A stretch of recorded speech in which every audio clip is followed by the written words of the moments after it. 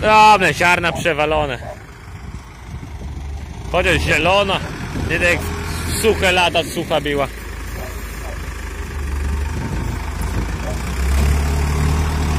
Dobra.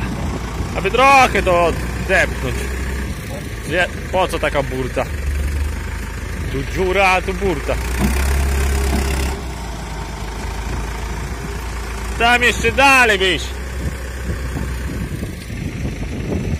No i na koniec swoimi się ugniecie ciągnikami tyle.